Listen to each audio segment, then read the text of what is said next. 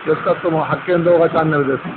今日は、今朝は非常に、雨が強くなりまして、皆さん、このバスから降りて、傘を差しているところです。ちょうど今、この時間、信号で途切れて人が途切れておりますが、この信号が変わりますと、一斉にどっと人が、この町田駅の、小田急う町田駅の方に人が流れていくことになります。今日はもう傘を差さずにはまず折れない天候ですので、大勢の人たちが今、ここを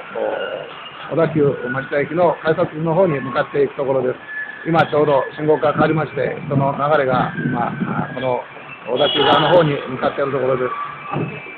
朝の時間帯、小田急の駅はこうした人の流れで大きく